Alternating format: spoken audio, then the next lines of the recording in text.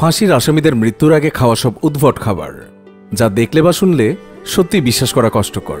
পৃথিবীতে বিভিন্ন দেশে বিভিন্ন নিয়মকানুন অনুসারে সেই সব দেশের আসামিদের ফাঁসির সাজা হয়ে থাকে। কিন্তু প্রত্যেকটি দেশেরই ফাঁসির আসামিদেরকে শেষবারের মতো যা খাবার ইচ্ছে, তার একটি সুযোগ দেওয়া হয়ে থাকে। জীবনের শেষ খাবারের প্রশ্নে তাই বিভিন্ন রকম ব্যক্তি বিভিন্ন রকমের আজব খাবার খেতে চায়, যা একেবারেই অস্বাভাবিক।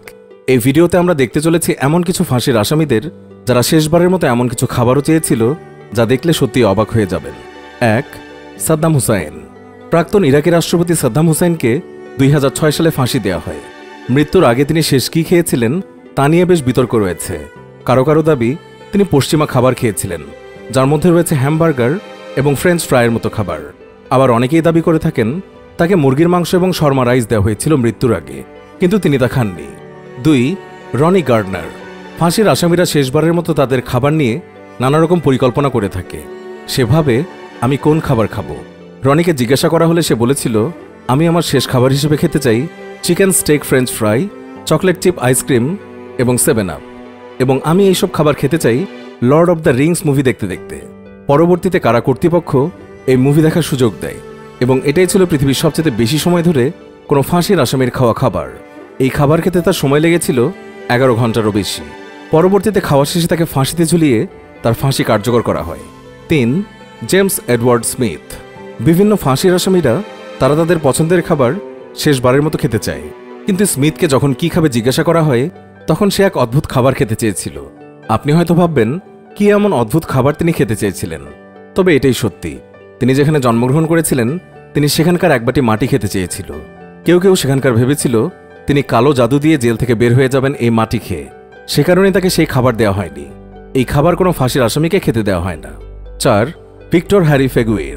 হ্যারিকে উনিশশো তেষট্টি সালে হত্যার দায়ে গ্রেফতার করা হয়।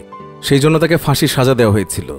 তাকে যখন জিজ্ঞাসা করা হয়েছিল যে শেষ খাবার হিসেবে সে কি খেতে চায়, তখন সে বলেছিল, অলিভের বীজ সহ অলিভ খেতে চায়।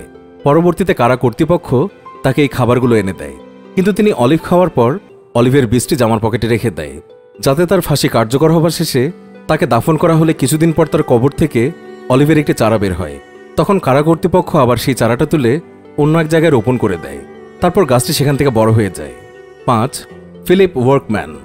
দুই হাজার সাত সালে টেনেসিতে মৃত্যুদণ্ড কার্যকর করার আগে তাকে যখন কিছু খেতে বলা হয়, তখন ফিলিপ বলে, আমি কিছুই খেতে চাই না।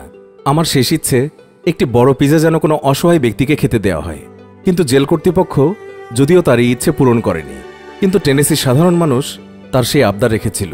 তার মৃত্যুদণ্ড কার্যকরের দিন টেনেসির অনেক মানুষ প্রায় শখানেক পিজা নিয়ে ন্যাশভিলের গৃহহীনদের মাঝে সেই সময় তা বিতরণ করেছিল। ছয়, অ্যাডলফ হিটলার।